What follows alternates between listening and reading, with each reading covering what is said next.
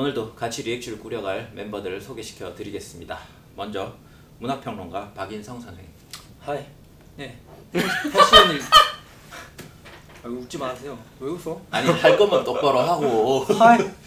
우리 부끄러워하면서 그러니까 어설프니까 지금 묻는 거 아니야. 수치스러워하면서 그거 다시 갈게요. 그럼. 다시 갈게요. 그래, 그러니까 처음 너, 다시 너를 가- 위해서 다시 한번 쳐줄게 슬레이트. 이번 제대로 하는 걸로.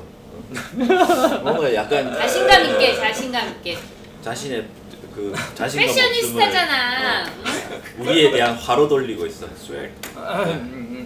가겠습니다. 하나 둘 셋.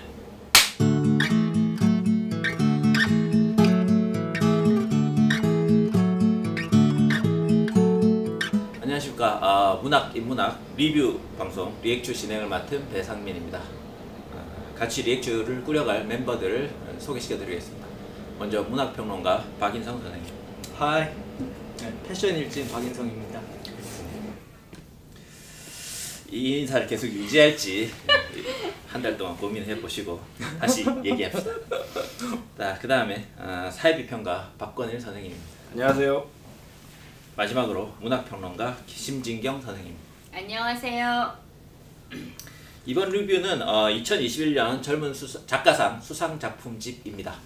아, 이 작품집은 다- 어, 이 우리의 에, 방송을 구독하시는 분들은 어느 정도 알고 계실 거라고 생각하는데 에, 그래도 소개를 시켜드리자면 어, 출판사 문학동네가 해마다 어, 등단 10년 이내의 작가들의 단편 작품 중에서 어, 6편의 수상 후보작과 한 편의 수상작을 책으로 묶어내는 소설집입니다.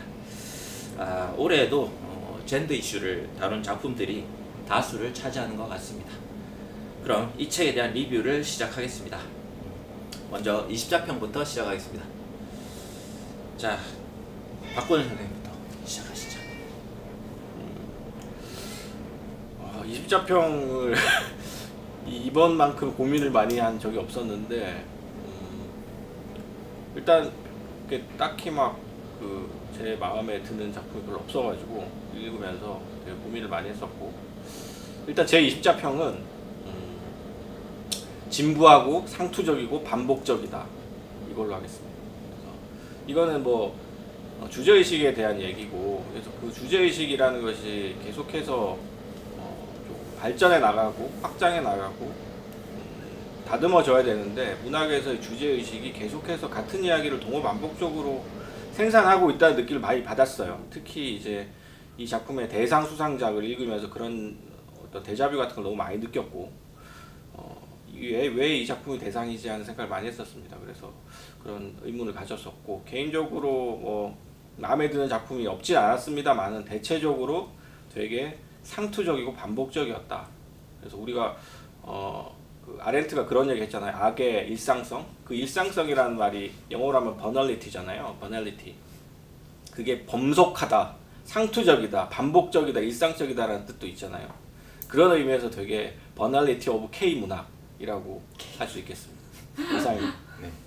오늘따라 유난히 비누 향이 많이 나는 것 같아요. 비누 향이 난다고? 무슨 일이지?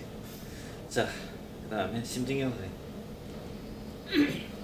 저는 저는 마음에 드는 작품이 있었습니다 네, 그거는 다음 질문에 하고요. 아니 근데 그 20자평, 마음에 20자평. 드는 작품에 대한 얘기 저는 김멜라 그걸 다음 질문에 전체 책 전체에 대한 네. 입자평 해달라고. 전체에 대한 건 별로 하고 싶지 않고 20자평을 해달라고 20자평을. 20자평은 네. 멜라 멜라 김멜라의 발견 지금 생각하셨죠, 솔직히. 아니요 지금 생각하셨죠. 아닙니다 왜 그러세요? 네. 김멜라의 발견. 저는 뭐 선생님은 별로 마음에 드는 작품이 이뭐 없었다, 뭐 진부하다 이렇게 말씀하셨는데. 저도 있었습니다. 마음에 드는. 예.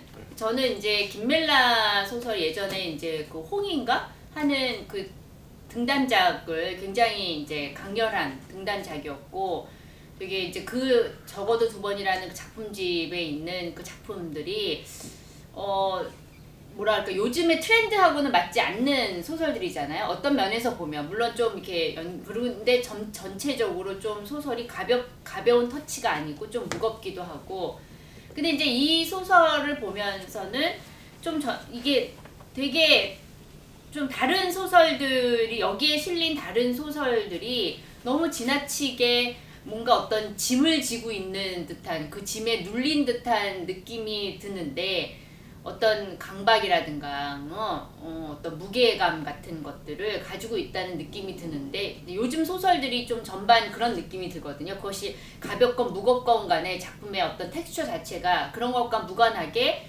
그냥 되게 좀 짓눌려 있다라는 그런 느낌이 드는데 저는 이제 김멜라 소설을 보면서 어 되게 매끄러우면서도 되게 자연스러우면서도 어 이렇게 인물을 뭐 이렇게 만들 수 있을까? 뭐 그래서 아 우리가 앞으로 이제 좀 김멜라 저는 김멜라라는 작가의 작품에 좀 주목을 하고 싶다 이렇게 너무 특정 작가를 띄우는 건가요? 왜 째려보죠? 아니, 째려보는 게 아니, 아니라 우리가 정해놓은 네. 포맷이 있는데 거기에 맞추시 아무튼 저의 네. 입자평은 김멜라의 발견 하겠습니다. 네. 그 앞에 멜라 멜라 김멜라는 어떻게 하실 거예요? 멜라 멜라 김멜라. 넣으실 거예요? 아 이거 알아서 하세요. 본인이 하는 거잖아요. 편집. 정확하게 정해주셔야죠 제가. 아니. 편집은 제가 지금 20자평은 선생님. 하시죠. 멜라 멜라 김멜라의 발견. 알겠습니다. 이렇게 하겠습니다. 멜라 두 번 넣겠습니다. 네. 네. 네, 저의 20자평은 남자가 없다고 상상해봐입니다. 이게 최근에 그 이 젊은 작 아니 뭐지? 죄송합니다. 젊은 작가상 수상 작품집 어, 관련해가지고 최근에 알라딘에서 특히 그 온라인상의 이 젠더 이슈 그리고 요즘 이제 갈등 문제가 또 이제 여기까지 넘어와가지고 알라딘에서 이 작품집에 대한 평점 테러까지 있었다라고 하는 것도 이제 아실만한 분들은 알고 있을 텐데요. 일단은 말 그대로 그들의 공격의 제1의 원인은 여기 남성 작가가 없다는 겁니다. 수상 작가 중에. 어. 근데 이제 전체적으로 읽어봤을 때에도 당연히 페미니즘적인 어떤 경향들이 반영되어 있는 것도 맞고 그런데 여전히 왜 남성 작가가 반드시 어떤 포함되어 있어야 하는가에 대한 질문에 대해 답변을 주는 건 아니라는 거죠. 그런 어떤 공격의 행위들이. 그리고 굳이 그동안 이제 남성 작가들이 아주 오랫동안 해먹었던 한국 문학의 깊, 깊은 전통들 같은 것들을 생각해 봤을 때 오히려 남성 작가가 어, 이렇게 아예 없는 어, 경우에 대해서도 이제는 사실 익숙해져가고 있는 상황이고 또 다른 의미에서 남성 작가들이 분투를 해야 하는 상황이지 이 문제를 어떤 문학판의 에, 경향성 혹은 뭐 편향성, 치우침, 젠더적인 치우침 이런 식으로만 바라보는 외부적 시선을 생각하면 저는 오히려 어, 이 작품에 대해서 그런 어떤 더 대응하는 어, 오히려 이런 외부적인 논리나 상황들이 이 작품 안에 있는 논리들을 문학적인 논리들을 더욱 오히려 정당화시켜주는 설득력 있게 만들어주는 어, 상황이라고 생각을 해요. 그래서 이 작품들이 단순히 문학적인 논리로만 살펴봐야 되는 게 아니라 동시대적 현실 속에서는 여전히 가치가 있는 말들이고 뭐 반복적이라고 말씀하셨지만 의미 있는 반복들이다 라고 저는 이제 생각을 하기 때문에 그렇게 이야기를 해봤고요. 그리고 까더라도 관심 있는 사람들이 까야지. 어? 어디 뭐 문학에 관심도 없고 그냥 막 한국 문학 뭔지도 모르고 그냥 관심 없던 사람들이 이때다 싶어가지고 와서 깐다. 이거는 좀 저는 애정 까더라도 애정 있는 사람들이 까겠습니다. 네, 아, 뭐, 한 분은 중립적이시고, 두 분은 약간 다른 입장에 서 있는 것 같습니다. 그만큼, 어, 올해는 좀 논란이 여러 가지 문학 외적으로나, 어, 내적으로나, 어, 문학이라기보다는, 어, 이 젊은 수상가, 수- 작가상 수상 작품집, 어, 외적으로나 내적으로나, 어, 많은 논란이 있는 작품집이면 틀림없는 것 같습니다. 자, 그러면, 어, 다음 질문으로 어, 넘어가도록 하겠습니다.